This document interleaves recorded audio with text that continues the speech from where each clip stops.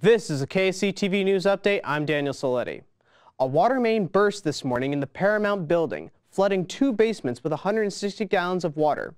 At 165 Main Street, Public Works Director Stephen Barrett said the break was caused by a faulty valve.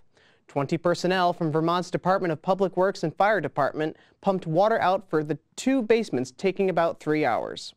For that time, the people of downtown Brattleboro, Vermont were without water until it was fully restored an Amtrak train collided with a pickup truck in Charleston, New Hampshire.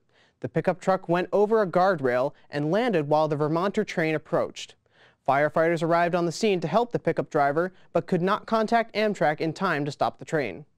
None of the passengers were injured, and the pickup driver was taken to a hospital in Vermont, where investigations are still open. The driver has been released since the accident on Sunday night. The New Hampshire Air National Guard will be the first in the country to receive the re new refueling tankers. Pease Air Base in Newington is getting 12 new KS KC-46A planes, replacing the older KC-135s.